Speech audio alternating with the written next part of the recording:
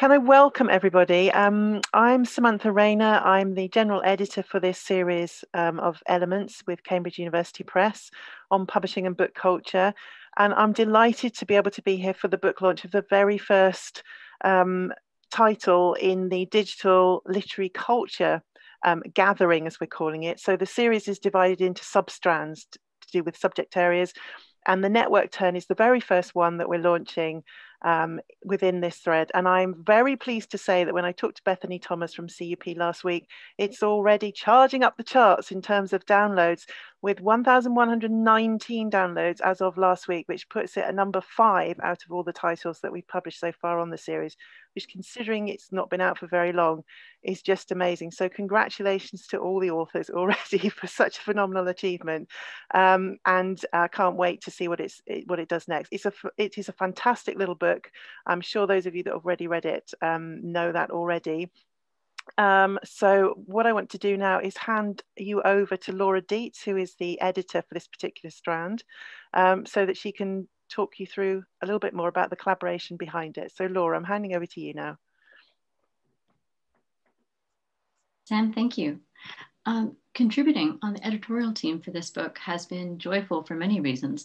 It's an exciting book, but it's exciting for what it's become, but also for how it got there uh, and for its genesis as a work of co-authorship. As the authors, and it is the authors put it in their introduction, it's the product of a collaboration between a scholar of English literature, book history, and digital methods, a physicist specializing in network science, a historian of science concentrating in digital humanities, and a digital research architect with a background in design and tool development, working together in a way that remains relatively rare for the arts and humanities. The network turn will be influential for many reasons. Uh, as Sam has said, the number of downloads speaks to that. But it will also be influential as a model for co-authorship across disciplinary boundaries and a stunning demonstration of what can be achieved.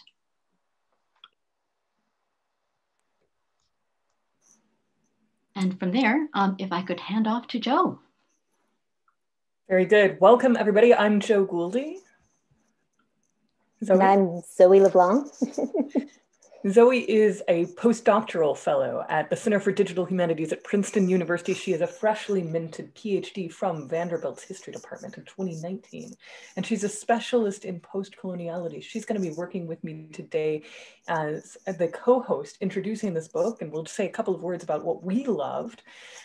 But to introduce her a little bit more, Zoe's dissertation was entitled Circulating Anti-Colonial Cairo, Decolonizing Information and Constructing the Third World in Egypt, 1952 to 1966. And she's currently revising it for digital publication. Her work bridges digital methodologies and post-coloniality. So she's a wonderful person for me to talk to about what we loved about this book and what you might like about this book.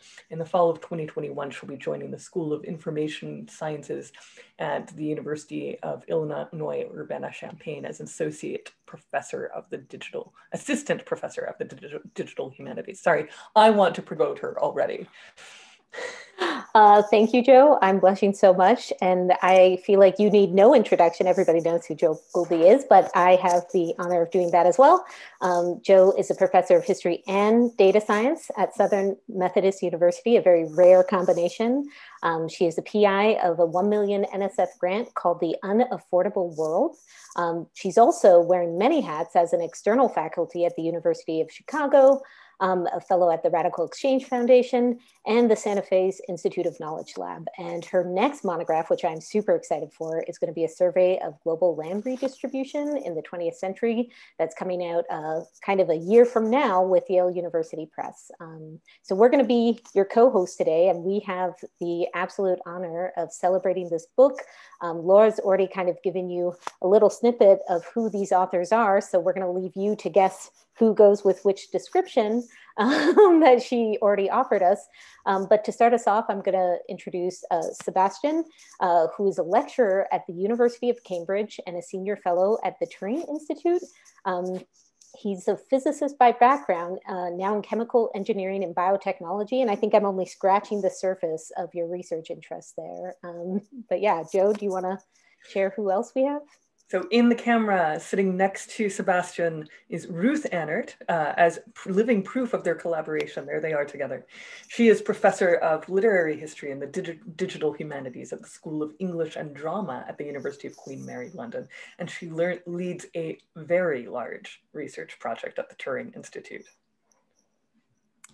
Um, so next we have uh, Scott, who has uh, let me introduce some very exciting um, uh, kind of professional news, he is about to be the incoming director at the Navari Family Research Center at the University of Notre Dame and is a historian of science. And our last author is Nicole Coleman, who is digital research architect for the Stanford Libraries, research and research director for the Humanities Plus Design at CESTA, which is one of the foremost institutes in the digital humanities and research. Uh, so Zoe is going to give an initial summary of the book. Zoe, what did you find in this book?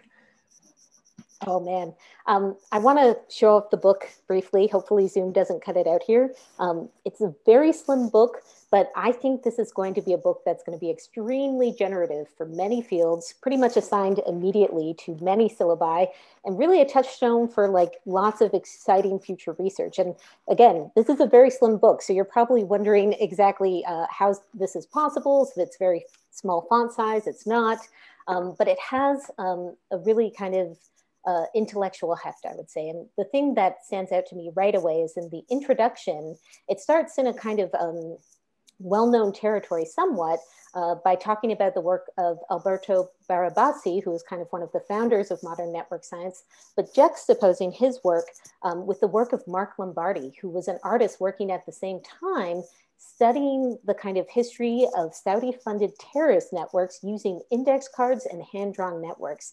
And I really love this juxtaposition because initially it feels quite strange, but it's clearly intentional by the authors of having an artist and a scientist together.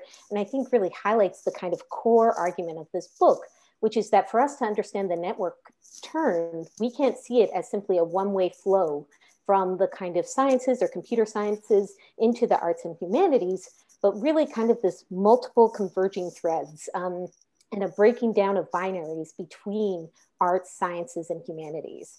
Um, and what I love, love, love about this is not that it's the first to call for kind of interdisciplinary collaboration, but that it's really, I think, one of the first to kind of embody this call in an almost meta sense, right? Because we have four different authors from really diverse kind of disciplinary backgrounds um, who are being very intentional. This isn't a how to tutorial book. This isn't a series of case studies, though I would probably love that as well if they decided to do a follow up book. Um, but this is really kind of what they describe as a space for exchange between the disciplines and really a series of provocations for thinking about the networks um, and networks kind of broadly. And so there's so much in here that I could talk about that I loved. But to answer your question, Jo, because I'm already going to gush for way too long, um, as a historian, I particularly loved um, the ways in which they kind of historicize the network turn. Um, they, they don't offer a definitive history, but they really kind of are wide ranging in the examples they bring together. Um, and I think it's a really important corrective for us to stop thinking about networks as purely a modern thing, um, but really kind of something that has a much longer and contested history. Um, and this, I think, gets to their kind of breaking down the barriers because they're not just speaking to humanists here, they're speaking to kind of a wide range of disciplines, um, many of which kind of treat networks as beginning with Facebook, right? There's a much longer history here. Um, and so I think, you know, they really answer this question of why we should all care about this network turn. Um, and it's because we're all in it and it has this longer history and we have to engage with it, whether, whether we want to or not, right? It's ordering our world. Um, and they could have stopped here, right? That's already enough for probably like a whole research agenda. But what I love is they actually go further to kind of talk about how can researchers undertake this type of research, right? They actually dig into that work and join it not only with thinking about it intellectually, but actually the practice of it. And this is, you know, as a digital humanist, which I also am as well, uh, this is a really exciting section. It, it really kind of talks to a lot of the ways in which uh, digital humanities can bring together this interdisciplinary space. And I love they, they share a lot of behind the scenes kind of look into the research, even though they're all coming from very kind of diverse backgrounds, they've actually all worked on similar subject areas. And I think that's a really special and kind of unique framing. And this is kind of correspondence networks. And I think this is really helpful because it helps them talk to a lot of the critiques this work has had. And this is another thing I love. They don't shy away from the controversy. They're willing to kind of confront it head on. And this is questions of how we use prediction. How do we account for bias? How do we handle incomplete data? And, and they rightfully point out this isn't just questions in DH or the humanities. These are questions that all scholars are dealing with today.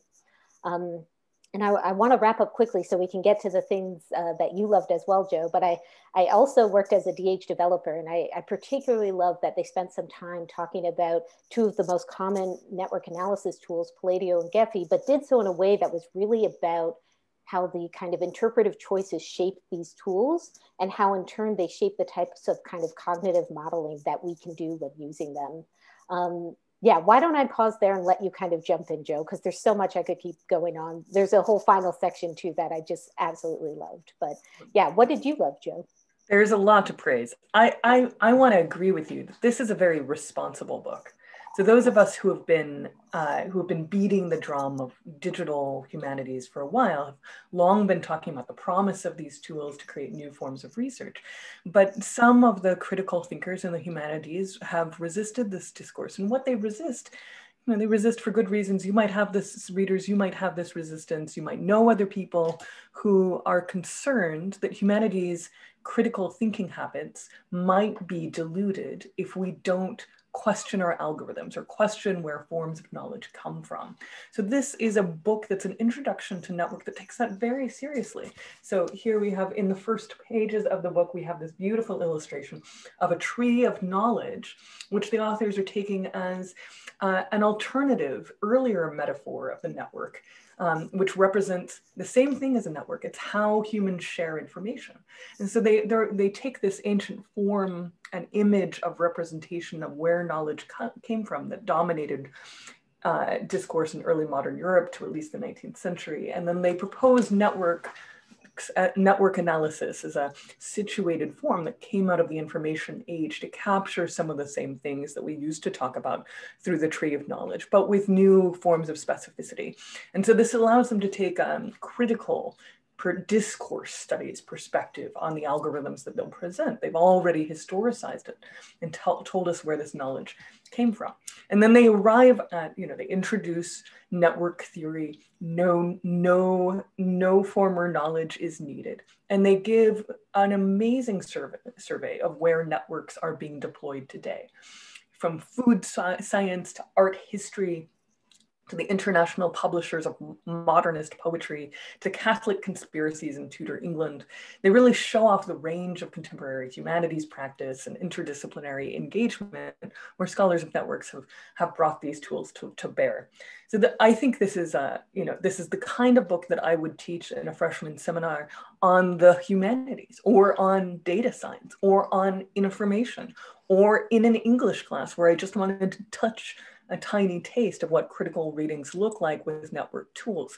It's generous, no prior information is needed, but it takes, it brings in perspectives from information theory, science and technology studies to acquaint somebody with what a network is and what you can do with it.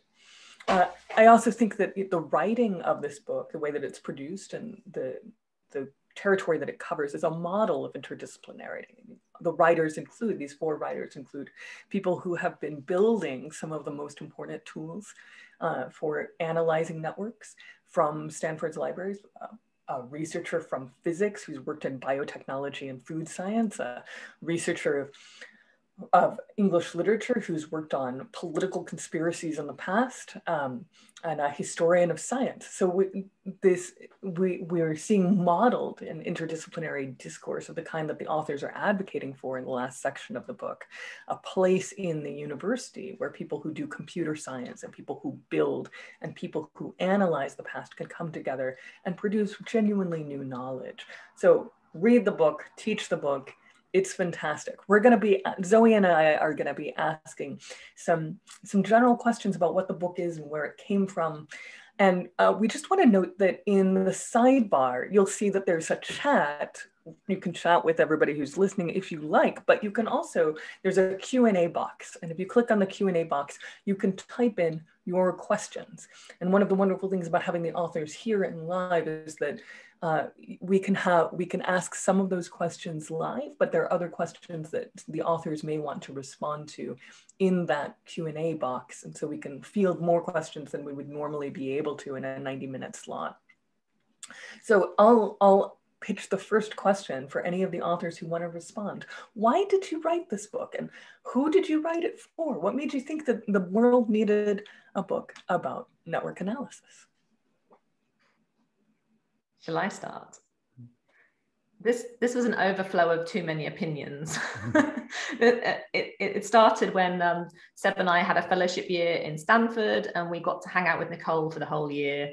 Um, and on Fridays, she often served uh, cocktails in our office, and uh, we would end up having our opinions about how you should be using network analysis and how you should, you know, um, what you shouldn't be doing. And um, there were some really productive debates that we had, and uh, there was one like where Seb said, "I think we should write some write some of this down." And then we got to invite um, Scott over for a um, little symposium, and we kind of drew him in. So I'll, I'll just hand over to the rest of you to say how that developed from there.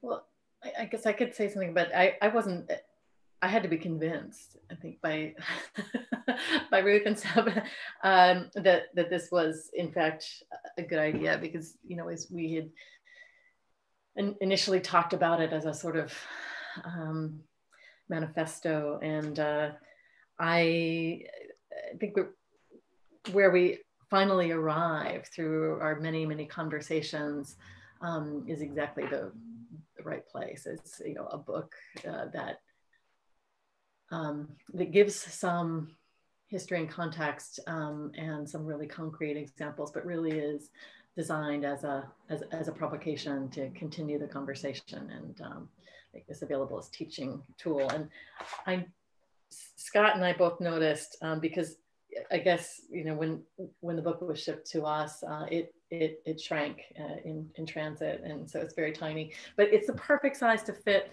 you know, in, in your pocket if you're in the U.S. next to your U.S. Constitution.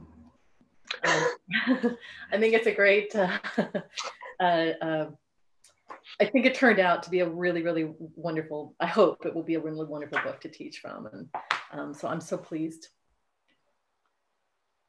I just want to build off of uh, what Nicole said. You know, there's there's plenty of work out there that uh, justifiably um, critiques networks and network science and the humanities or in the sciences. And I, I suspect uh, the four of us as authors, not I suspect, I know the four of us as authors uh, sitting in pubs or cafes have fetched about bad network science and people doing things poorly. But that's um, those are those are a dime a dozen. They're they're justifiable critiques, but I think that you know what brings us all together is we do see uh, a valuable future um, in networks and network analysis for the arts, for the humanities, for the sciences, and as a um, an, an, interchange place. Um, and I think what I really appreciated about the process of writing this book with um, Nicole and Ruth and Seb is that we were able to really uh, speak from a place of constructiveness. Um, and uh, that that's something I find very valuable, and it's a mode that, as personally in the, the humanities mode, I'm not able to often write in, um, and I very much appreciated that. Yeah, maybe I can just add. I think um, for for I think we, we we started thinking about this because when we gave talks on our on our own work um, where we've already sort of started experiencing some of these challenges of collaborating, but also the opportunities. You, you, you do end up explaining the same kinds of, or convincing people in the same kinds of ways in every talk. Sort of people start out as skeptics, and then you find ways of engaging with with with the skeptics, and then you start to see patterns, and those patterns were worth writing down. I think, um, or, or to to to find a new way of communicating what we do to and I think our aim was always to communicate primarily with people who aren't convinced yet so of, of the merit of the digital methods so I think we wanted to maybe work that mm. down in a way. And there was clearly a gap because people were still and still are citing Scott's blog posts from ages ago. Mm. And the fact that, that that's what people have to cite mm. suggested there was a gap in the market. And mm. long may people cite it, but hopefully now there's another venue and Yeah, I love those blog posts. Um, I will always cite them, but yes, more is definitely better. Um, I, you guys have, you know, really kind of optimistically described uh, your collaboration here in a really kind of positive sense, which I, I, love so much. But in the book, you also kind of talk about the realities of how difficult this kind of interdisciplinary collaboration is. So I was wondering if you could share with us a bit more of the kind of process of writing this book um, and how you guys developed this kind of really cohesive um, kind of output, even though you are coming from so many different backgrounds. You know, how did you find kind of common language to speak to each other? Um, yeah. Anyone want to go first? The drinks helped. uh, I know that um, uh, we I mean, we, had a, a lot of of significant back and forth be, be precisely because of the language right? Because um, these terms don't uh, mean the same thing in, in the different contexts you know that we use them you know whether um, we're talking about um, graphs or a graphical language or you know do we do we are we talking about networks? Are we explicitly talking about network analysis? Uh, you know these are different ways of, uh, framing the issue that um, I think and I hope end up in this book um, being uh, revealed as kind of a hopefully kind of produ- productive tension, you know, across across the book of um, what it means to try to talk about something like networks, you know, um, generally. Um, I mean, you know, we struggled with the fact that uh, uh, even even considering history um, of networks and the use of the term, uh, you know, our own framing of that is going to be fa fairly narrow, you know, defined. But again, at least acknowledging that and recognizing that and, and hope, hoping to, to open, open up to, to a, a broader conversation. Um, speaking, you know, from the place that, that, that each of us can speak and, and then um, opening up from there. Sounds like it was a real learning experience for everyone. Uh, and it, it, evolved, it sounds like it evolved in an informal uh, way, just that discourses do when people are willing to work on the edge of their, their knowledge. Does anyone want to say something about that? I think it takes time to get to a place of consensus or at least productive disagreement. So we often had these writing sessions where we would finally be in the same city and we could sit down and write together. And we thought we would just sit down and write. But what we actually did was talk really hard about things that we still disputed or that we thought were productive things that we needed to get our heads around. So I think working at the edge of your discipline takes a long while to learn the language of that other discipline and learn how to have the conversation across that boundary we also mentioned uh, trading zones in the book, and I think that our particular trading zone is we all happen to be working on early modern correspondence networks, even though we were coming at them from very different angles. Uh, and so we were able to have a, a place to start that conversation. Um, and that allowed us to uh, have, it, have these really um, fruitful discussions and try realize that we were all coming sort of to the same place with the same terms, but with very different meanings. That's great. Could you, I'm wondering if you could give the listeners some of the taste of the excitement that your book conveys about the discoveries that each of you made as researchers. What was what was a big finding that you had using network analysis that you couldn't have come about and uh, you couldn't have come across in any other way? Should I talk about our spies and conspirators? Mm. Um, Seb and I were sitting in Starbucks of all places, um, off the, just off the side of the camp of Stanford campus one day, and Seb had generated these graphs that um, charted two different network measures against each other. And I was going through working out who everyone was and why they might be distributed in that way. And I kept, found this bunch of outliers And I was like, he's a conspirator, he's a counter conspirator, he's a double agent, he's a spy, he's a conspirator. And we had this, we had this realization that these outliers had a kind of profile. And that's when we had we had this idea how to create a network profile to see if we could cluster people and make predictions about who other spies might be. And that was a really cool uh, breakthrough moment, which turned into an article. So that was, um, I think, our one of our kind of highlight moments. You want you have another one for another discipline, probably?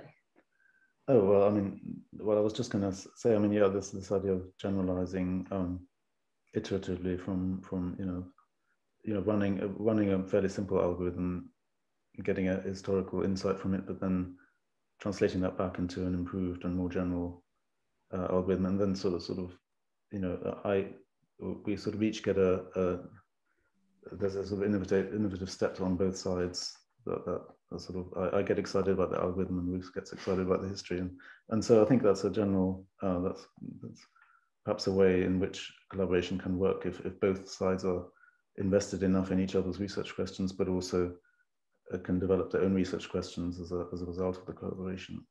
So that's I think um, one of the things we sort of learned through this. I, I just want to respond to, to that because I have to say I bet Scott probably um, found this to be the case as well, that just having the opportunity to work with Ruth and Seb together um, set the example of, you know, collaborating across disciplines. And it was, uh, it, it, it was a really, really wonderful experience that way um, to see how the two of them negotiated um, their, their different perspectives on things and, and really opened, I think, the door for us. Um, in terms of answering about insights, so, you know, for me, my, my role in this was really about conceiving uh, networks as a tool for understanding um, an incomplete historical record. What could that mean? I started this um, within the context of a number of, of researchers in a small case study projects in um, in the context of mapping the Republic of Letters. And initially, you know, the title of that project is mapping because the intention was it was all going to be about mapping. Uh, and then it became very, very much about networks instead. Uh, and the interesting thing uh, about networks as a um, mode of investigation and a methodological tool, I think is the way that um, it really forces you to deal with the, um, the negative spaces. Uh, and uh, it, it becomes a process of you know, clustering and classification. These like foundational things of how do we group information? How do we define information? What's in and what's out? And having to struggle with that uh, and come up with your sort of definition of, of terms and categories and so forth is um, is a parallel part of the project uh, and both the if you're using visualization the visualization and uh, and the analysis of those connections um, becomes just a sort of you know a supplement in some in some ways a confirmation um, but it's always coming back to uh, the accountability that you have to to make those decisions about what's in and what's out uh, and I suppose from my side, uh, in my own historical work, I tend to use and think of networks as um, uh, a substrate of scholarly activity or for scholarly activity. Um, and uh, although I've, I've discovered plenty of things using network analysis, when I say discover, usually it's finding people who I didn't think was important were important, but find just uh, find that oh, this person is showing up in, in this correspondence and this correspondence and this correspondence, and although very few people have written about them, uh, they wind up being particularly crucial. Uh, those those certainly have cropped up, but I think more important for me is I've been able to use networks as an uh, explanatory mechanism for historical arguments. So, for example, I'm interested in why certain types of scientific or scholarly endeavors uh, are fostered in one period versus another period. For example, in the mid 1600s, uh, uh, attempts started at, at global or at least international meteorological surveys uh, starting from Western Europe, and they largely failed. And they succeeded about 100 years later.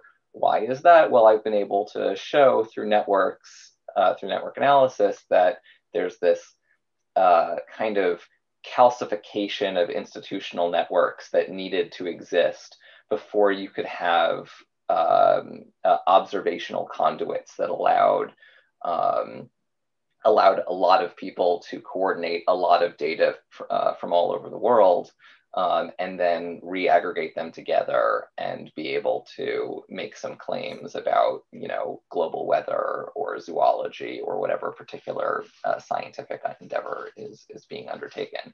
And networks i have found to be a network analysis a particularly useful way of uh, both making those explanations and uh, making finer detail um, explanations than we have been able to in the past. Uh, thank you for those wonderful answers. Uh, according to our schedule, this is now the time where we have a few minute coffee break, um, or we might if you guys are still interested in taking a short break to kind of refresh tea, whatever coffee, whatever you're drinking today, um, then we're going to kind of move into your guys' position statements. So um, really, we want to kind of uh, take this wonderful collaboration you've built and put the uh, amount of tension we can on it, uh, just to show how truly close you guys have uh, become in the process of writing this book. Um, but yeah, thoughts, take a short break or jump into your guys' position statements. And I'll just note that there are four open questions on the Q&A, uh, which you can are welcome to engage live or answer. You can also answer by typing uh, if you want to take time for live, live further live questions.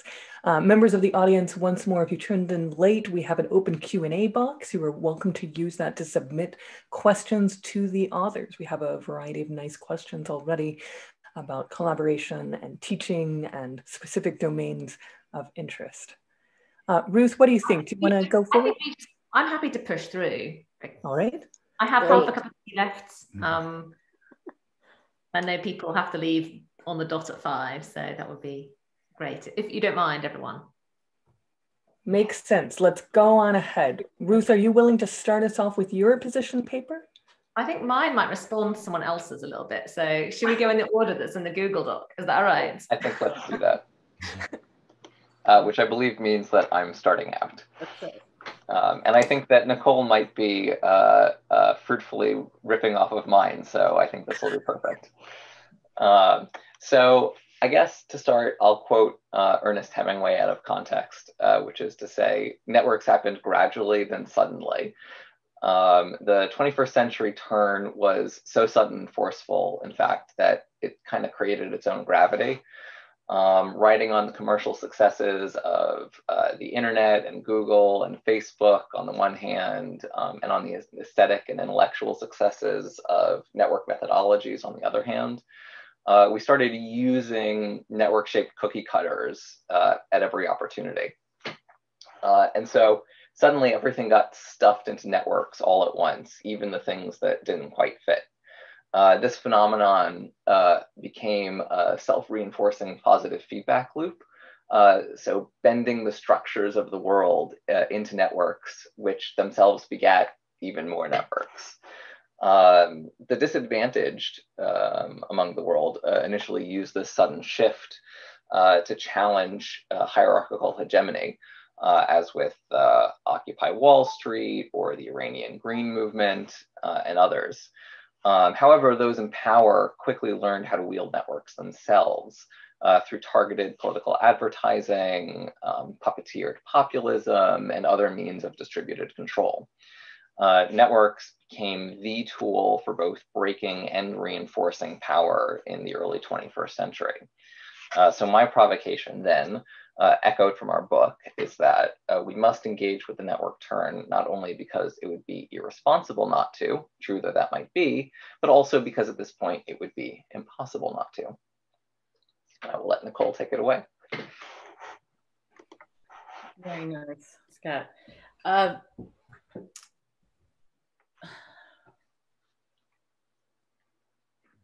you know, I've been, I've been um, uh, uh, trying to, I guess, push forward this notion for quite some time now um, that data is a medium. So data, you know, this information that's underlying uh, the networks.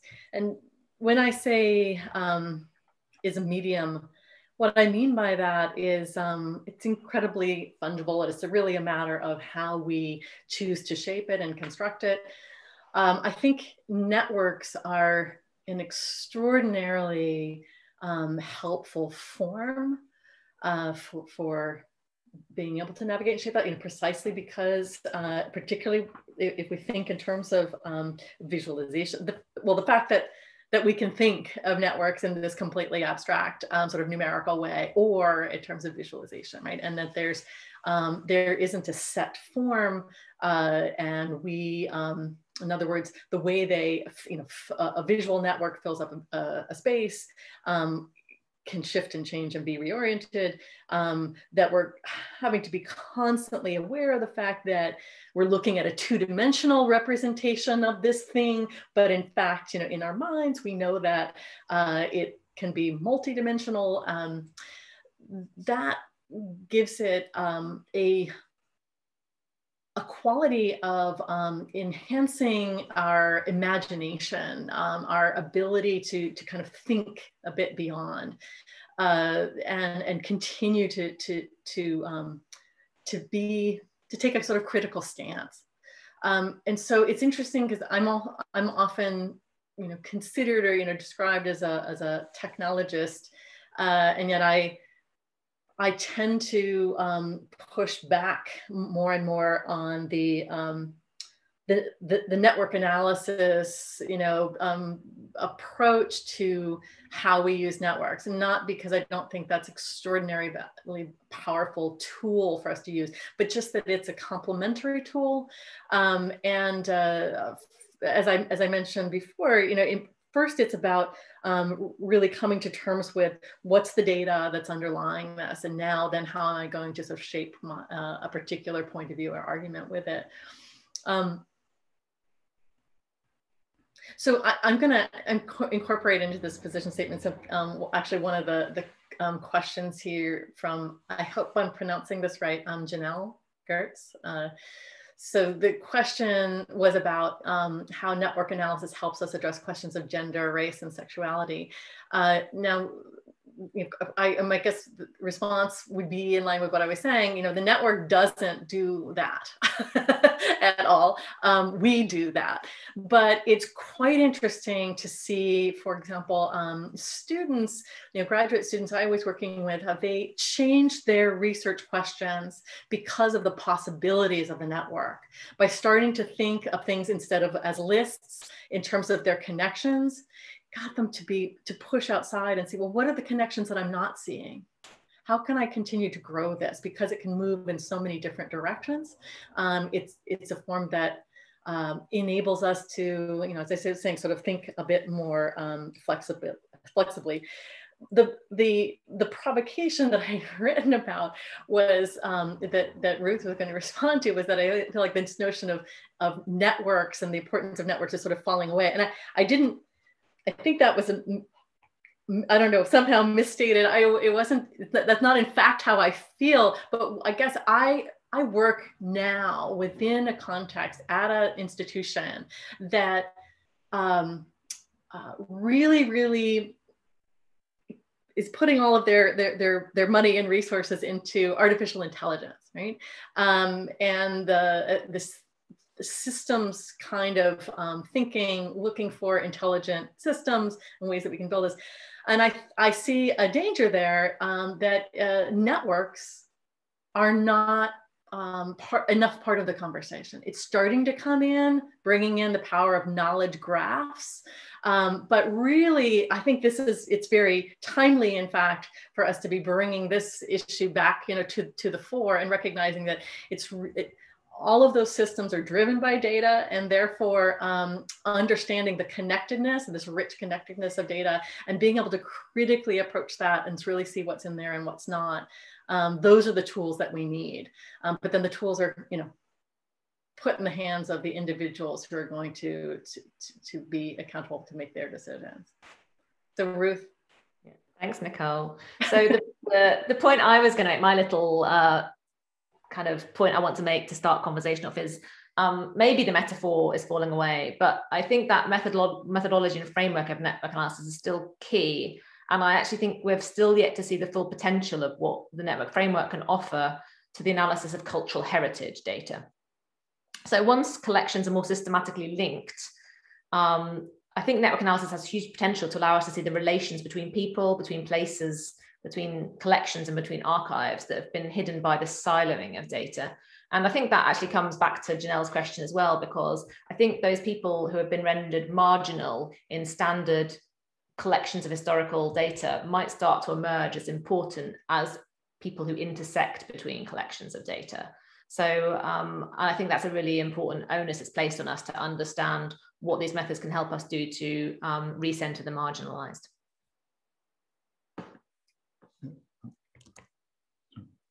Um, yeah, so um, my my provocation actually fits nicely uh, with Nicole's in a in a sense because what I uh, what I want to reflect on is is why is why are networks such a, a an interdisciplinary tool? And um, I've, I've thought about this for a long time because I've done uh, I've worked in network analysis for some time, and when I go to networks conference, I, I, I, you know you can go to one room and hear a talk on Twitter, and the next room will have a talk on brains or or regulatory networks in biology or transport networks and um, or the humanities, in fact, and and uh, I thought, why, why is this? And it's exactly because of what Nicole touched upon, which is that I, I bet knowledge is, is can be represented in, in network form, as in as Nicole said, network uh, knowledge graphs are a, fairly new kind of database format, which which people try to represent almost everything in, and and so networks actually, the networks that we study in network analysis are just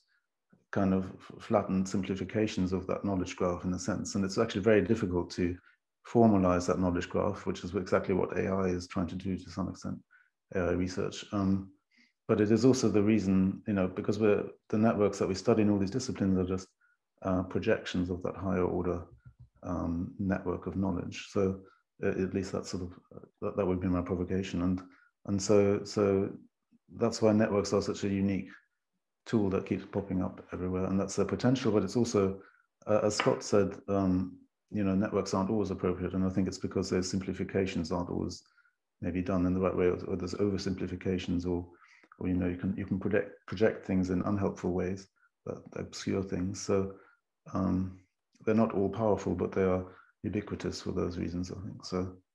Um, that, that's my provocation.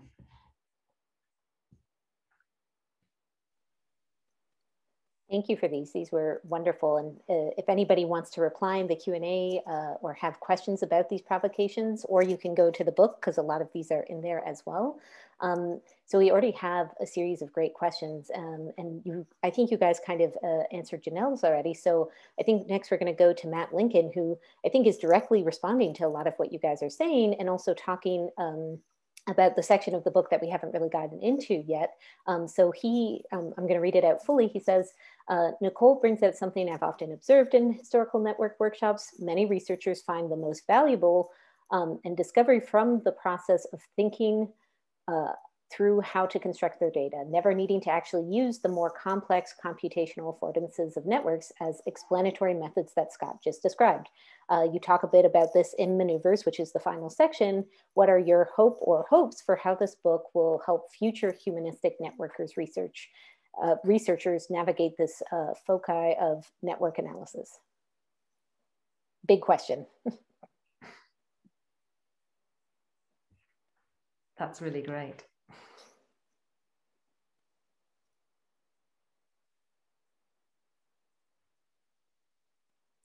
I, I, think you guys, you know, you have a lot in this final section where you talk about the different ways of scales of analysis and interpretation that networks um, enables. Uh, do you have kind of, yeah, a sense of the this future direction you're trying to, to push humanists towards? I mean, the, the subtitle is Changing Perspectives in the Humanities. So you're, you're certainly not shy about who you're trying well, to influence.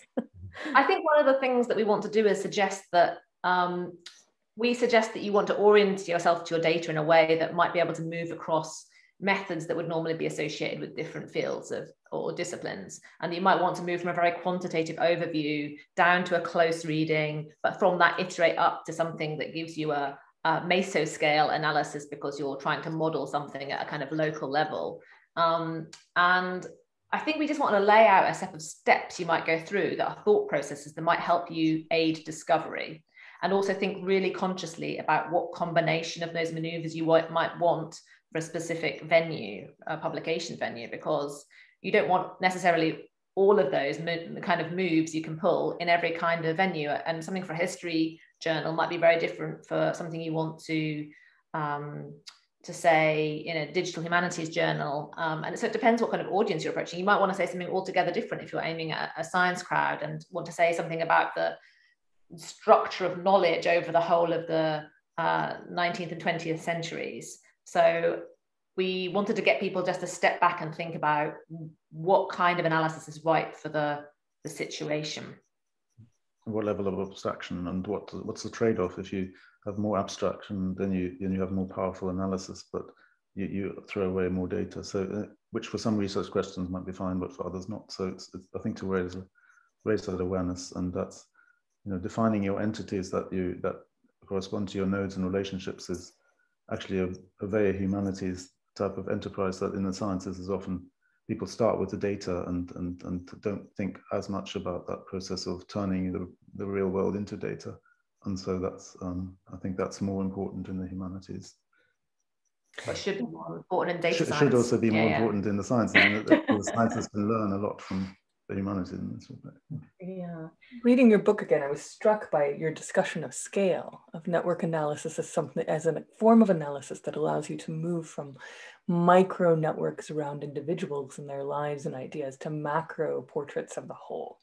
And I think, you know, as Sebastian is saying, this really, um, this really gets at a kind of inquiry that marries humanistic concern about individuals and context and small communities with macroscopic social science concern about what does the whole look like.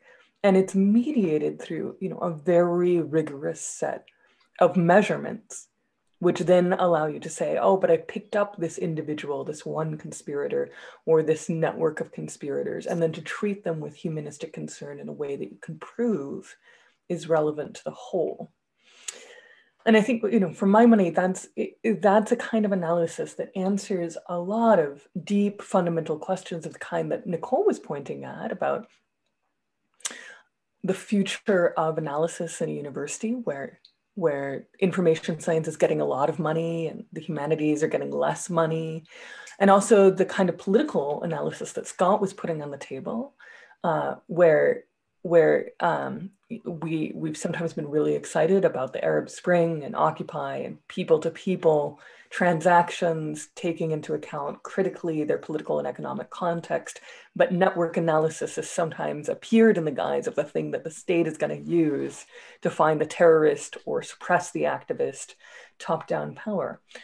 So I, I really appreciate them. Part of the message of this book is that you can move between scales, and moving in between scales, you can preserve the humanist's attention to individuals, resistance, context, uh, dissent, agency, all of those things that humanists really care about when they're thinking about what makes for a healthy city or where innovation um, or in the sense of uh, movements for civil rights come from in the past. You can preserve those things while being rigorous in your analysis. Um, and maybe maybe a question that comes out for me from that is, you know, if you imagined a future kind of a university where people are doing this work that moves between science and the humanities and moves between scales collaborations between information scientists and, uh, and uh, Tudor literary scholars become the rule. Um, what kind of things would those people be doing? Who would they serve? Would they be working for the CIA? What would they do for society? What's the big picture future of this kind of analysis?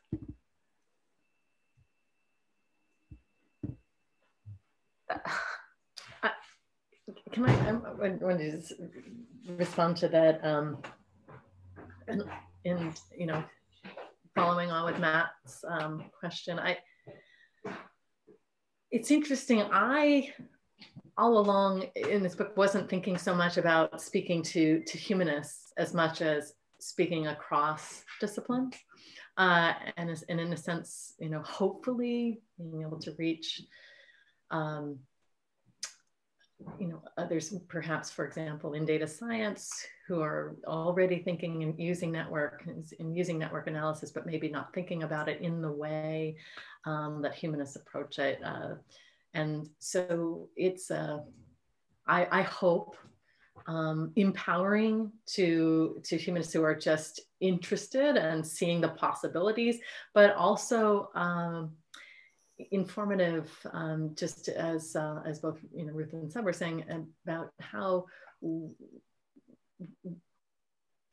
data science, at least as it is taught, is a little is a bit impoverished in, in the sense of thinking about um, the nature and the, in the richness of the of the potential connections. Um, Jo participated in a conference um, that we hosted recently at it was a collaboration between CESTA and the Data Science Institute at Stanford. Um, and we had a follow-up, you know, challenge with, with students and, and, you know, one of the um, graduate students from data science working in collaboration with the humanists was saying, I found it really fascinating that, um, you know, that, that humanists think as much about interpretation as method.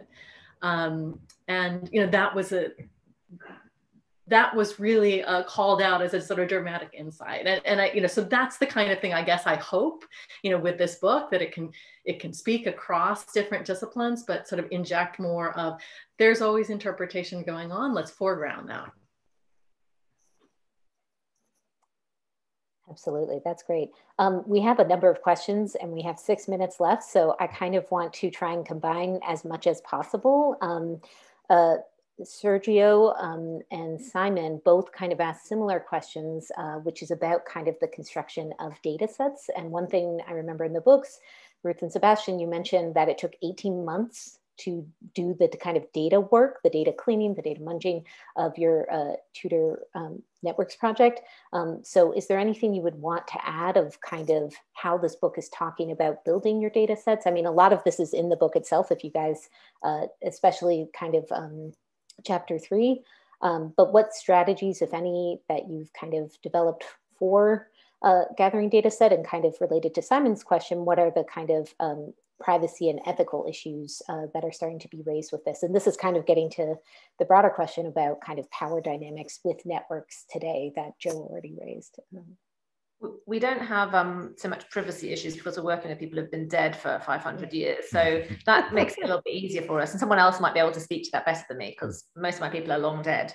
Um, that, that long data cleaning process was partly because we decided to take an assisted manual approach. So Sebastian built tools for data cleaning that assisted me to make humanistic person by person decisions about whether two historical human beings were the same person or multiple human beings. And um, and for us, we knew that, that we needed to do that if we wanted to speak to a history crowd, because whenever we presented it to people who are data scientists, they're like, well, you could probably like automate that and it would probably be like 90% effective. We're like, well, 90% effective doesn't persuade our historian crowd. So we made that decision to put that labor in. Um, and for us, when we published the book, the data set we will publish with it because of the huge amount of labor went into that, not just by me, but by um, some research associates, um, including a Lotte Fikkers who I think is on this call. Um, and, and the tools that came out of that as well, we want to share the tools so that people can also um, do that kind of work in a manual assisted way. Yeah, my, my so yeah, I think we we we I think that a semi-automated approach is, is best there, and that's sort of is again a, a, sort of bit like this iterative back and forth that you the machine suggests stuff, but you have to verify validate it, validate mm-hmm. it, and in some cases, you know, um, dig deeper in. But but you can accelerate a lot of these things with with the help of algorithms. Um, so, so um, I think that's what we found is, is, is, the best approach. Should we try and get to another question hmm. before mm. time runs out?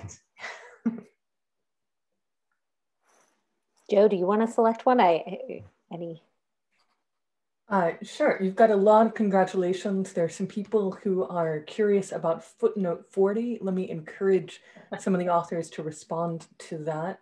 Uh, Scott, you should take that one.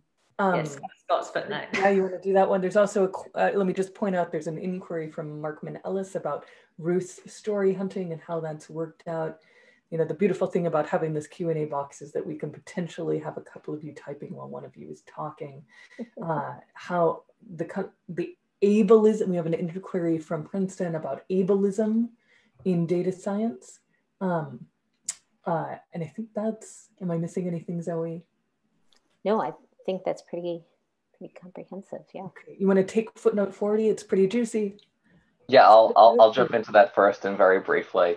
Uh, thank you, Isabel. Um, so I basically have uh, uh, was doing a sort of my own history of social network analysis a few years ago and found that the um, uh, the majority of people in my Zotero library uh, were either um, women who were working at uh, teaching universities, um, uh, often uh, related to psychology because it was related to sociograms and, and Moreno and Helen Hall Jennings, um, and also people of color who were doing uh, anthropologies of um, um, largely uh, Black and African American communities.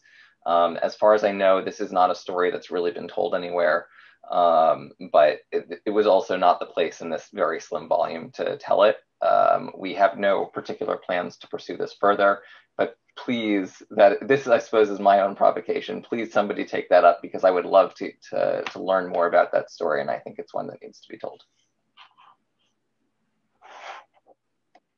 all right uh i guess we are at at time we are at the top of the hour so now is the time for everyone to thank the authors for sharing this book with us congratulations uh, for bringing this beautiful book into the world. Uh, good luck to everybody who's teaching it. Stay in touch. Thanks to Cambridge University Press. Congratulations to Laura and Samantha for bringing this new publication into being. Your, your series is well launched, and we look forward to seeing more from the Element series. Uh, shall, shall I say that um, if you if you are also a brilliant digital humanist and have ideas, you should probably submit a book proposal to Lara and Samantha so that they can give you a beautiful Zoom book launch and a beautiful publication of the kind that we've just seen. Thank you so much, everyone, for coming. Thank you. Thank you.